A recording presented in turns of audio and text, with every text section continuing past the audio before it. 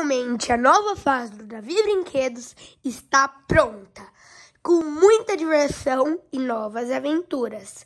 Terça, dia 16 de agosto, esteja lá!